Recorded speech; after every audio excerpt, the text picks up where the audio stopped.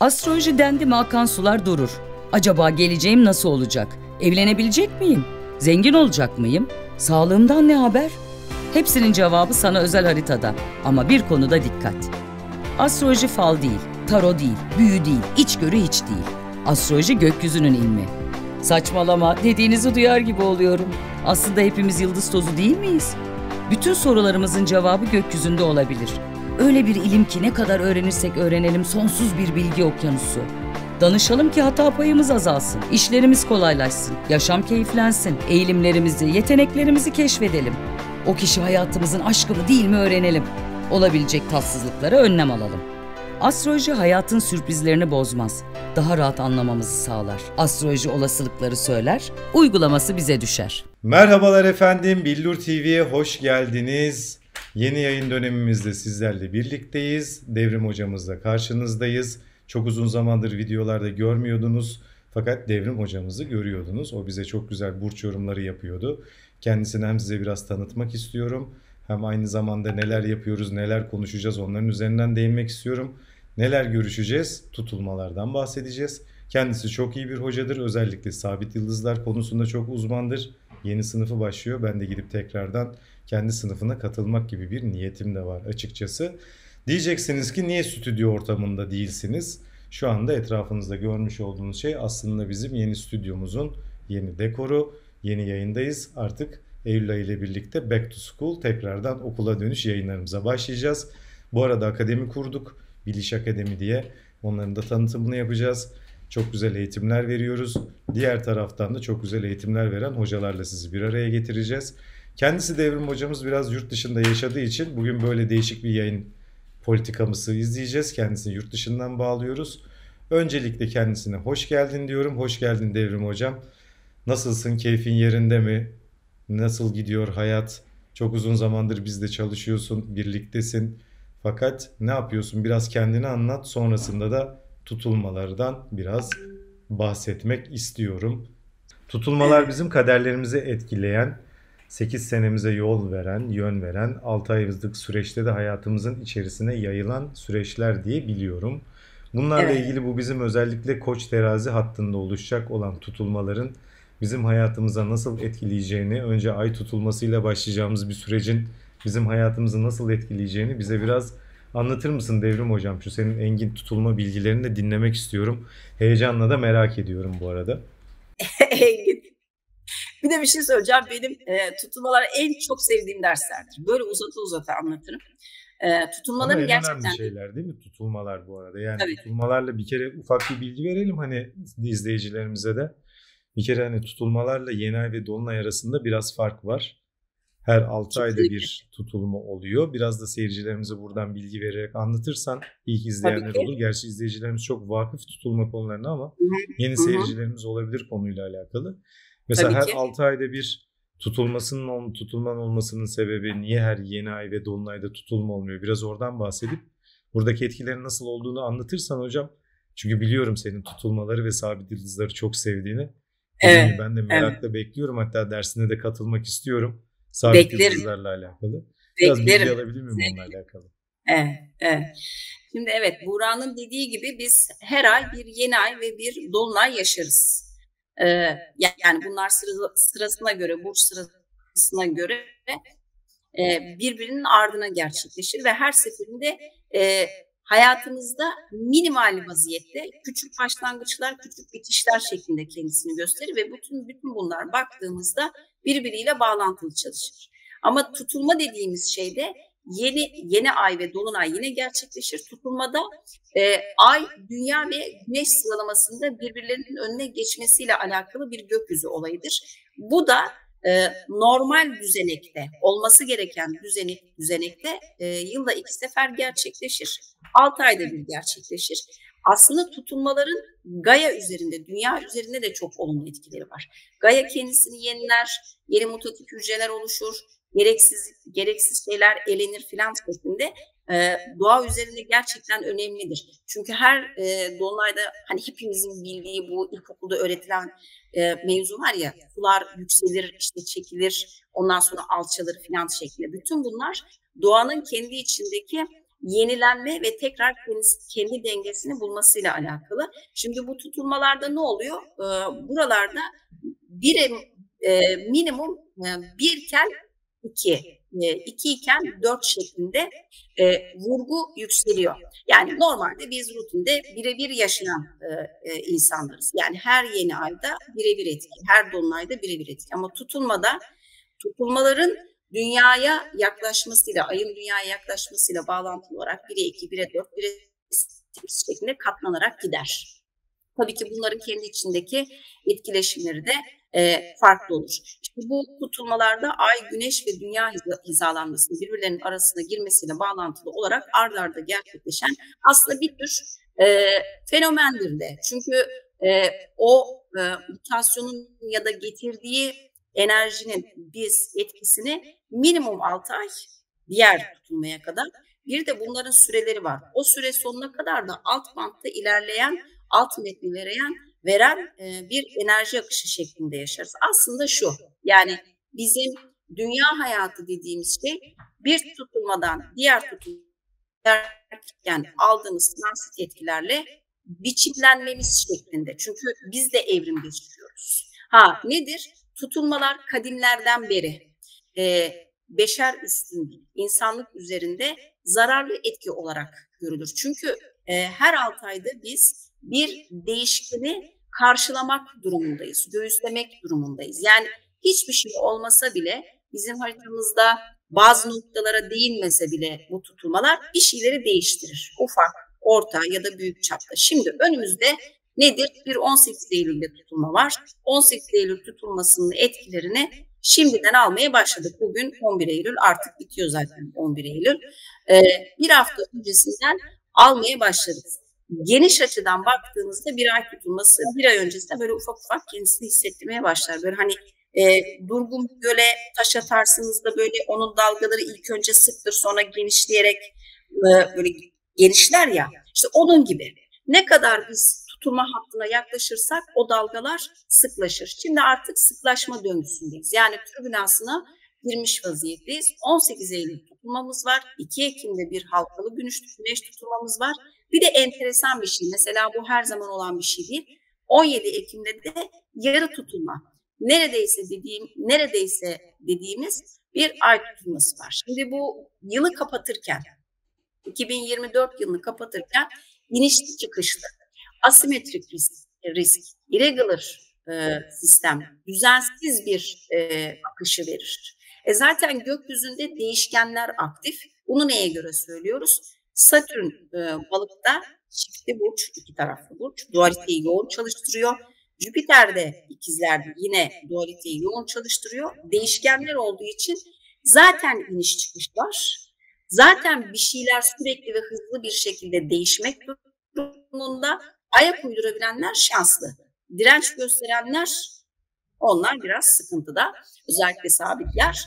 E, öğrenmesi gereken şeyler var bu süreçte. Şimdi ne oluyor? Hem böyle bir akış var hem de dediğim gibi ay, güneş ve yarı ay tutulması. Bir de bunun sıralaması da ters bu sene. Yani güneş ay olması gerekirken ay güneş yapıyor. Ve beklenen iki tutulmadır. Güneş ay, güneş aydır. Ama biz ne yaptık bu sene bu sene? 2024'ün başından beri ay güneş, ay güneş ay yaptık. Şimdi ne oluyor? Beklenmeyen olaylar artıyor. Bir de tabii Uranüs algol etkisi var. O zaten başlı başına bir olay. Yani biz burayla sabaha kadar konuşsak bu göstergeler üzerinde yetmeyeceği için böyle konu başlıkları halinde anlatıyorum. O da ayrı bir dengesiz atmosferi veriyor. Şimdi tabii bu bizim içinde bulunduğumuz tutulma efekti yine 19 e, Ağustos'taki dolunayla bağlantılı. Her şey birbiriyle bağlantılı çalışıyor. Orada bir kırılma döngüsünü yaşadık. O zamandan beri çok yoğun bir gündem var. Hem Türkiye'de hem dünyada ve çok üzücü şeyler de yaşadık tabii ki bu arada.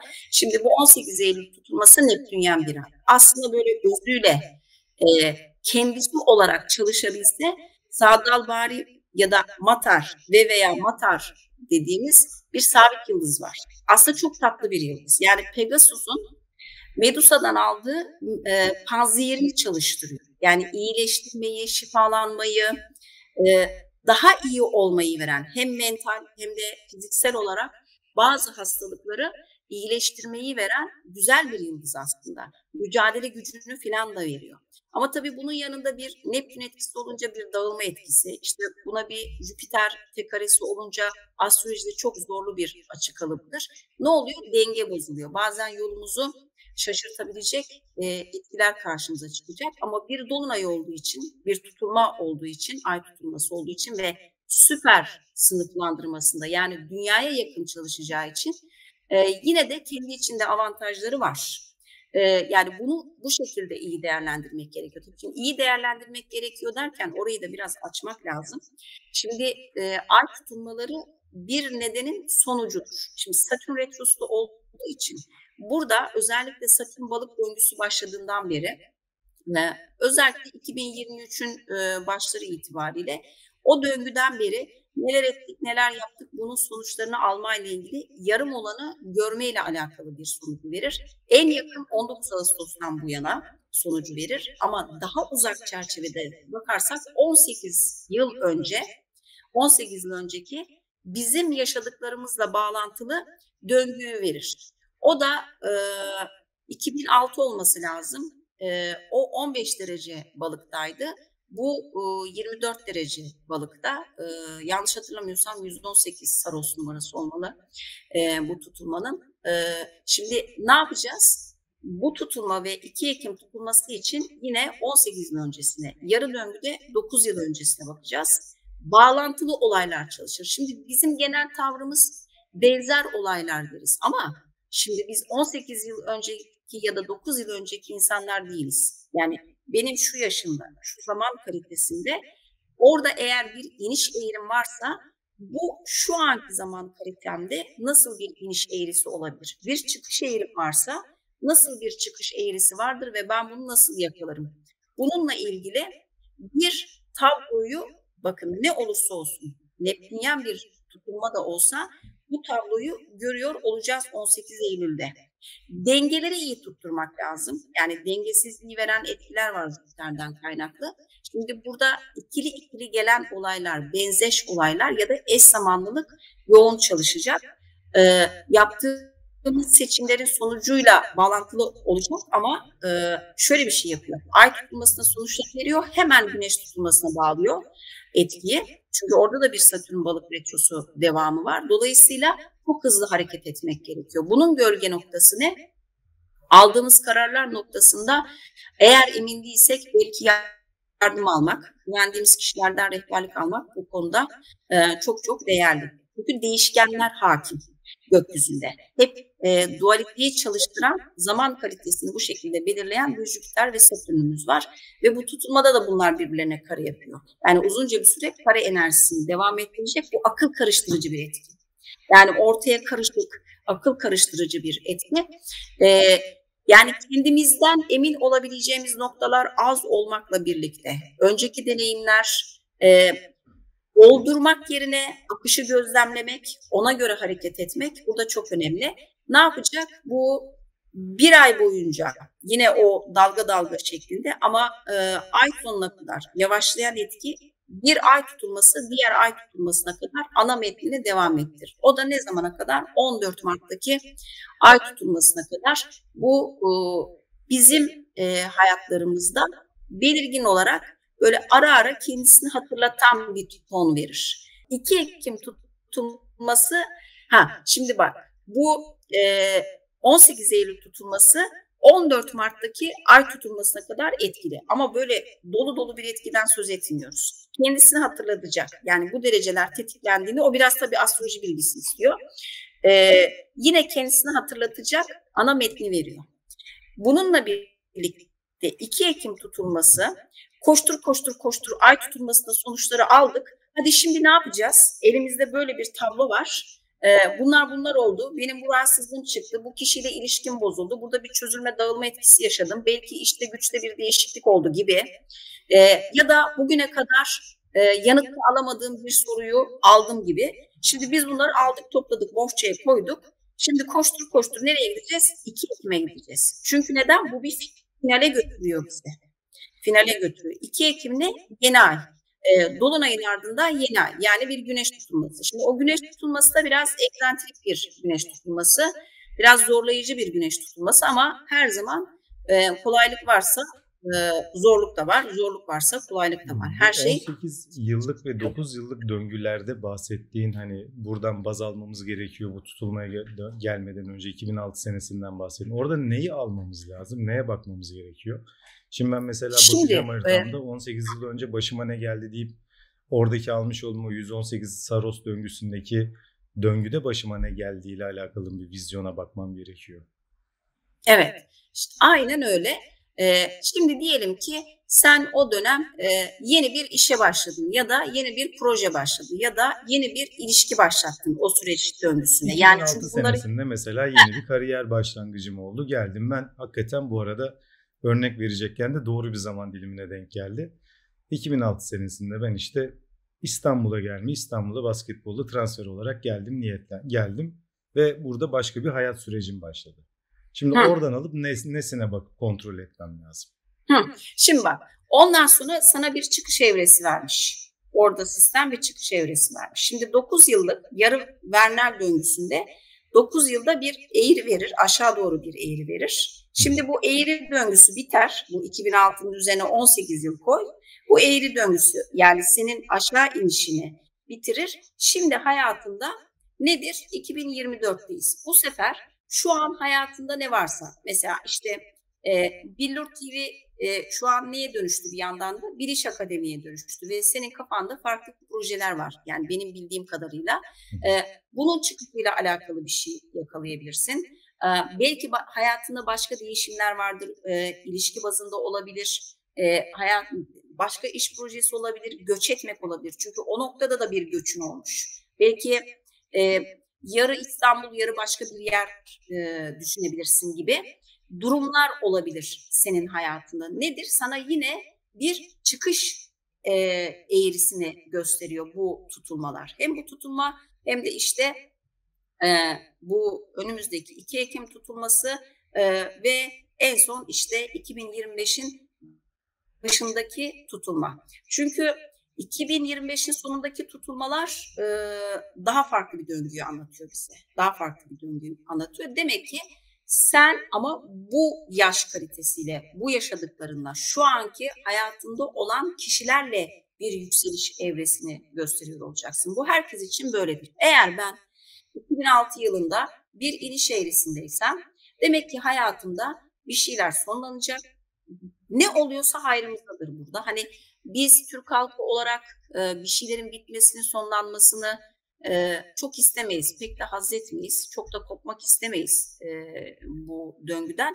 Ama bir bitiş olmadan da yeni başlangıç olabilir. İşte bu kılavuzluğu bilirsek e, hayatımızdan gitmesi gerekenlere rızasıyla ve gönüllüce yol verirsek ki zaten gökyüzü onu söylüyor bize. Yani direnç gösteren çok zorlanır. Çok akışkan, değişken, e, sürekli dediğim gibi koşulların belki günden güne değiştiği, bizim kararlarımızın bile günden güne değiştiği bir e, süreç dahilindeyiz. Şimdi o eğride de var bir hayır. Demek ki artık e, bir döngü bitmiş yani onlar senin işine yaramıyor. Vedalaş. Eğer bu vedalaşmayı e, ne kadar sağlıklı yaparsak bu süreç dahilinde çünkü her şey çok hızlı akıyor gerçekten. Bir de e, zaman algısı e, çok farklı. Yavaş hızlı yavaş hızlı şeklinde kendi içinde de böyle değişik bir akış var. Vedalaşmak ay tutulmasıyla başladığı için mi yoksa 2006'da düşüşte 2006 olan alakalı. 2006'daki düşüşte olan bir eylemin aynı şekilde tekrar edeceği bir döngüde Tabii. olduğumuzu anlatıyorsun. Aynen. Şimdi bu 2006'da diyelim ki düşüşte olan bir kişiden söz, söz ediyoruz. Ne yapacak? Bu ay tutulmasıyla e, doneleri alacak. Hani ne oluyor, ne bitiyor? Patronuyla mı terste, işte eşiyle mi Bitme sebepleri neler? Ne oluyor? Sonuçta yani ya da mesela da bir sonlanma değil mi? O yüzden. Hah, yani o belki bugüne kadar e, çalıştığı yerden ya da yaşadığı yerden memnun değildi. Bir şeyleri gerçekleştiremiyordu. E, ne yapacak? E, artık bir şeylerin değişmesi gerektiğiyle alakalı ikna olmaya başlayacak. Çünkü sistem gerçekten sıkıştırıyor. Neden? Dediğim gibi hemen e, 2 Ekim'de aşağı yukarı 15 gün sonra, e, 16 gün sonra ne oluyor? Bir güneş tutulması başlıyor. Yani hızlandırıyor sistemi. Diyor ki hemen sonucunu al, gör, ne yapacaksan yap, yolunu çiz. İşte burada dediğim gibi önceki deneyimler, güvendiğiniz kişilerden yardım almak, netleşebilmek adına ne yapılması gerekiyorsa maksimum çaba istiyor. İşte yorulma efekti bundan kaynaklı. Yorucu o zaman çünkü. 15 günlük süreç içerisinde hızlı bir şekilde karar alıp da aksiyon da almamız gerekiyor. Doğru mu? Tabii ki. Tabii ki. Şimdi işte o zorluğu o. Zorluğu o yani. En azından kafada bir plan oluşmalı. Çünkü 2 Ekim güneş tutulması. Şimdi 2 Ekim güneş tutulması bir de bunu da doğru e, yansıtmak gerekiyor. Şimdi biz bu tarihleri veriyoruz da 2 Ekim günü işte e, bu şu olacak gibi bir şey değil. Zaman akışı var. Ama bizim şu zaman döngüsünde bir şeyleri netleştirebilmemiz hepimizin faydasına. En azından hareket planını çizmek noktasında. Bir de kadersel girdiği için sanırım çok net ve sağlam aslında bize bunun mesajları gelecek değil mi? Tutulma etkisiyle geldiği Tabii. için.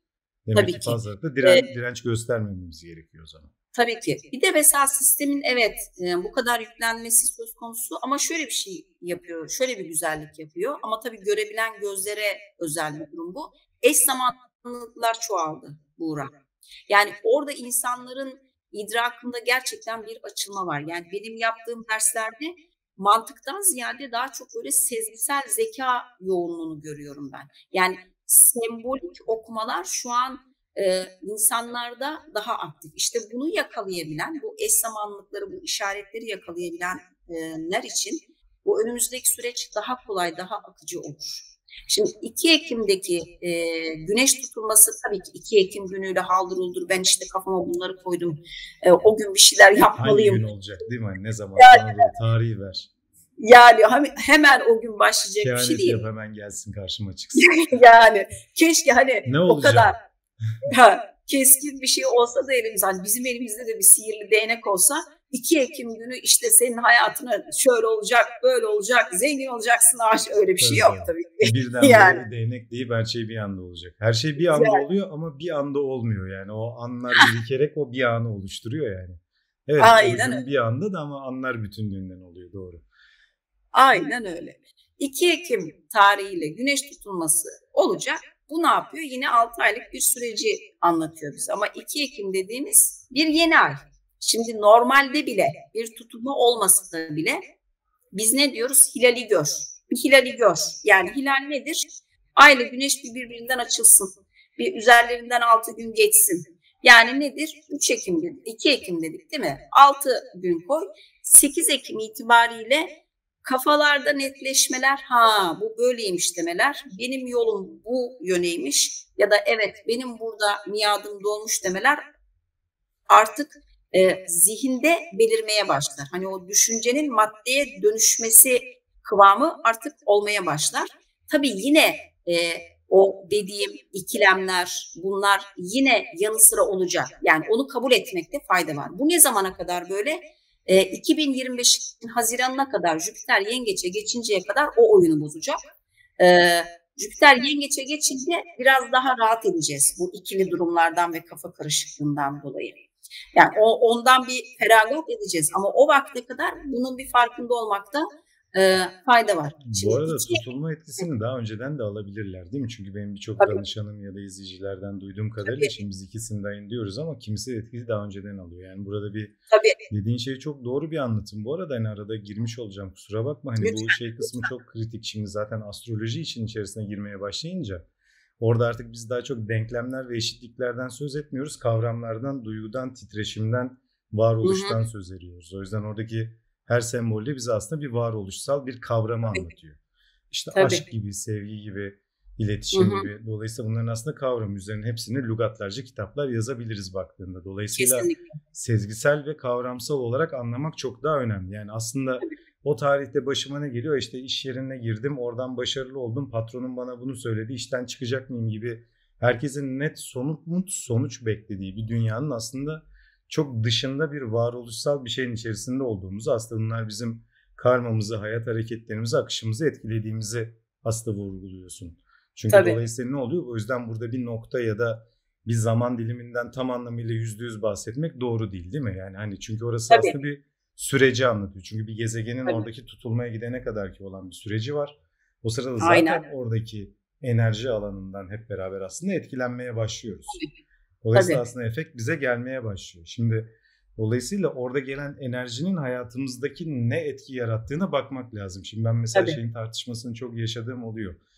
Ya da bir şeyi anlatırken ya niye çok net ya da basit anlatmıyorsun sonucu eşittir ya bana denklemi ver boş ver hani evlenecek miyim gibisinden soru sorduğunda aslında evlenecek miyim sonuca veya ne zaman işte başarılı olacağım ya da işte parayı ne zaman alacağım çıkaracağım ya bana net somut yani hani somut Evet. şeyle gel dediğinde biraz Evet. insanlara kavram anlatıp aslında onun somutlaşma sürecine kadar giden olan şeyin aslında bir süreç olduğunu, bu Evet. sürecin seni oraya şekillendirdiğini, aslında o şekillenen hamurun onu gerçekleştirdiğini Evet. anlatmaya çalışıyorsun. Fark Evet. ediyorum. Daha Evet. doğrusu astrologlar olarak anlatmaya çalışıyoruz. Ben de bunları çok fazla şeyim ya. Bu niye oluyor? Neden böyle oluyor? Olmuyor. Olmuyor mu değil. Neden olduğuna odaklanalım. Yani Evet. sen niye göbek yaptın? Çünkü her akşam yemeğin üstüne künefe yedin. Şimdi Bu kadar. Dolayısıyla ne Evet. zaman zayıflayacağım? E, Künefe yemeği Yani. bırakınca zayıflayacaksın ya da o Evet. yemeğin üstüne o şekeri almayınca. Şimdi buradan ruhsal deneyimleri insanlara anlatmaya başladığımız zaman biraz kafaları karışıyor yani. Uf sonuca gel çünkü biz gerçekten çok basit ve problemleri belli olan olaylarla çözeceğimizi zannediyoruz. Ne bileyim ya da işte paramız olsun Evet. bütün problemler çözülecek. Yok paran olsa da o problemler çözülmeyecek. Çünkü Evet. problemi oluşturan şey o para değil. Aslında bak. Ya bir de şöyle bir şey. Para, Sürecin bir yandan. tabii canım para kazanmanın da sorumluluğu var. Dert bitmiyor ki. Ya Paran olunca da onu söyledim hani sana işte çok yorgunum çok sorumluluğum var birisi hayatta sırtımdan bu yükü alsın falan filan tam diyorum ki mesela 200 milyon dolar para verdim ne yaparsın kendi işimi kurarım ha daha çok sorumluluk alacaksın Daha çok sorumluluk Şimdi tabii hani- ki. bir tabii yandan ki. da işveren sorumluluğuna girmeye başlayacaksın. Evet, evet. Şimdi evet. dolayısıyla hani burada aslında algılar değişmeye başlıyor. Şimdi çok güzel Hı hı. anlatıyorsan araya girmemin sebebi şuydu. Çünkü kavramları anlattığın zaman ben de zaten şimdi düşünüyorum. Ulan 2006'da o oldu hakikaten. İşte 8 sene sonra başıma şunlar gelmiş. Şurada işte bir şey oldu falan filan. Tabii çünkü kendi dönüşümümün hayat içerisindeki süreçlerine bakıyorum. Bu arada Hı hı. Tutulmalar her medeniyette çok önemli açılar olarak Önemli. insanlara anlatılmış. Yani niye? Çünkü kütle merkezleri hepsinin güneşin, ayın ve dünyanın ya da güneşin, dünyanın, ayın hepsinin kütle merkezlerinin çok ortada olduğu ve yoğun bir çekim alanı içerisinde bulunduğu, çok ciddi Tabii. enerji akımının olduğu çok kıymetli gökyüzü olayları bunlar. Hı hı. Burada zaten veri çok ciddiye aktarılıyor ve dolayısıyla gerçekten döngüler, Müthiş. kaderler yani biz o döngülerden oluşuyoruz ya bir şey somutlaştırana kadar. Dolayısıyla hani kavramsal etkilerin hayata akışımız çok daha önemli. Çünkü şey yüzde yüz katılıyorum. Tutulma konusundaki tarihlerden ziyade tutulmalardaki süreçlere bakmak çok daha önemli ve gerçekten orada insanın hayatındaki vites değişikliği gibi değişiklik oluyor ama tabii bu biraz daha farkındalık ve bakış açısı gerektiren bir yer. Yoksa işte ya bak tüh devrim hocam dediğiniz gibi 2 Ekim'de yeni işe girdim işte falan. Hani ya yeni işe girdin de o iş sana ne öğretecek, nereye yollayacak? öğretecek? Sen para kazanıp oradan bir şeyleri çözeceğini düşünürken belki evliliğin bozulacak. Ya da Tabii. belki kazandığın para başka bir ya da hayatından başka bir şey verecek veya başka bir bedel ödüyorsun ya da ruhun o işi yaparken bir şey öğreniyor. Belki bunun değerli iletişimdir bilmiyorum. Dolayısıyla ben şey dolayısıyla Şey- kavramsal konuları insanların daha kavrayıp daha biraz astrolojiyle aslında perspektifi genişletmek lazım. Yani sanki astrolojiyi böyle ne olacak gözüyle bakmaktan ziyade süreci gözlemleyip oluşan süreç maddeye nasıl yansıyor onu baklayıp maddedeki karşılıklarına bakmak lazım diye düşünüyorum bir yandan. Dolayısıyla aslında dediğin şeyler çok önemli. Peki şimdi biz tutulmalarda ne yapalım? Neremizi nasıl etkileyecek? Ne, ne önerirsin bize ya da neler olur, neler oluşacak? Ne heyecanlanacağız? Sabit yıldızımız bize ne getirir gibi de özetlersen tutulma, Tamam. ay tutulması yine de böyle biraz daha bilgiyi basitleştirecek şekilde gidecek olursak Basit, basit tamam. okey. Nereye Daha getireceğiz? Yok basit ya çok güzel süreç hani sadece e, yani mesela 2006'daki denklem yani döngülerden baz almamız bir kere çok kıymetli onu söyleyeyim. Kesinlikle. Buradan bakmak çok önemli çünkü hayatta her şey bir anda oluyor dediğimiz gibi ama bir anda olmuyor. Onun oluş süreci oluyor. Buradan bakmak çok kıymetli, çok önemli. Fakat ben bu tutulmalarda genel olarak nasıl etki alacağım? Evet Neptün konusuna belki başka bir programda da gireriz. Güzel konu çünkü ben onu sadece dağılmaktan ziyade aslında bütünlüğe, tekliğe gitmeye biraz egodan çıkma Tabii. bilinci olarak bakıyorum. Açıkçası başlı başına bir program konusu ve seve seve de Başlı konuşmak başına. isterim. Evet. Dolayısıyla Buradaki ana yapacağımız şey ben bu tutulmadan nasıl etkileneceğim? İşte izleyicilerimiz dikkat edecekse neye dikkat etsinler ya da bu güneş tutulmasındaki yeni başlangıç etkisini nasıl kullanabiliriz? Onunla ilgili de bir bilgi verelim. Çünkü önemli bir başlangıç ve güney ay düğümün üzerinde oluyor bildiğim kadarıyla. Evet Devrim Hocam bize anlatırsan ufaktan da tutulmaları toparlamış oluruz böyle. Evet şimdi toparlayalım dediğin gibi genel akışı e, daha geniş perspektiften bakarak anlatmaya çalıştım. Çok da doğru bir e, noktada girdin olaya. Şimdi daha minimalize ederek e, daha beşer e, noktadan bak baktığımızda bir kere bu ay tutulmasıyla bağışıklık sistemi çok güçlü tutmakta fayda var. Çünkü salgın hastalıklara uygun bir konumdayız bir yandan. Dediğim gibi rahatsızlıkları da arttırabilir, iyileşmeyi de verir. Ama çok paniklememekte de fayda var tabii ki bununla birlikte. Ee, e, az önce söylediğin e, manevi değerlerde yükseliş olur ama burada fanatikliğe kaçmamak gerekiyor. Yani inanç, e, inanç düşüncesi, hangi dine inandığı ya da inançla bağlantılı olayların fanatikliği artabilir. E, ama bunda dediğim gibi denge çok önemli. E, sağlıklı inanç konuları e, çok ön planda olacak. E, sindirim sistemi rahatsızlıkları yine e, kendisini gösterebilir ya da bu konuda iyileşmeler olur. Balık başak burçları e, bu ay tutulmasıyla birlikte belirgin olarak bir yolculuğa çıkıyorlar. E, artık onların dönemleri de açılmış oluyor.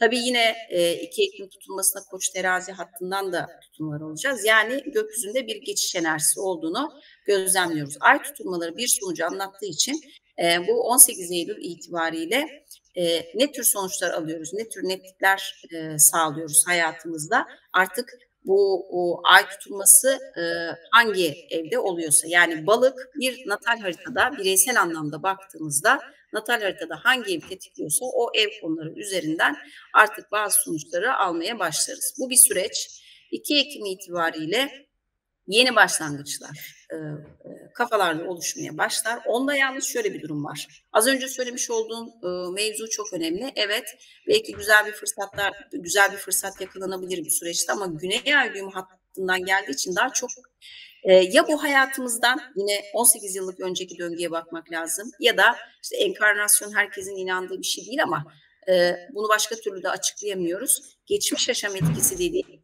e, etkileri de karmadan gelen etkileri de hareketlendirecek çok güçlü bir tutulma 2 Ekim tutulması. Yani Windemiatrix e, üzerinde olan tutulma e, bazılarımıza evet para pul getirirken bazılarımızda e, ilişki kayıplarına sebebiyet verecek. İlişkilerde ciddi krizler e, çıkarabilecek bir e, tutulma aynı zamanda ortaklıklarda. E, kendi içinde gerilimi olan bir tutulma, pasif agresif bir tutulma e, bu güneş tutulması. Çünkü yöneticisi olan Mars Sirius'ta. Yani birçok olaya gebe, birçok karmaşaya gebe özellikle ülkemiz açısından. E, en önemlisi, en önemlisi e, bu noktada e, birlikteliklerimiz yeni başlayan birliktelikler e, çünkü tuzaklı durumlar söz konusu. İş ortaklıkları varsa bir kısmı bitebilir yine bazılarımızın hayatında iş ortaklıkları başlayabilir. Yine mevzu burada e, dengeyi bulabilmekte. Gökyüzü sürekli denge üzerinde vurgu yapıyor ve biraz daha buna devam edecek. 17 Ekim tutulmasıyla e, aslında e, şeye göre bu 18 Eylül tutulmasına göre çok daha net verilerin olacağı bir e, ay tutulması. Yani bu Eylül ve Ekim aylarında e, alacağımız kararlar e, bu kısa süreç içerisinde değişebilir. E, ama ne kadar netlik veri toparlayabilirsek ve e, yolumuzu tekrar söylüyorum dengeli bir şekilde çizebilirsek hepimiz için çok daha sağlıklı olur. 2025'in Mart ayına kendimizi daha rahat atarız. Peki Devrim Hocam şimdi bu Güney Ay düğümündeki üzerindeki olan tutulma bir şekilde yeni bir başlangıç yaratma şansı olmaz mı izleyicilerimiz merak eder çünkü yeni bir aşk başlangıcı ya da var olan bir şeyin düzene girmesi.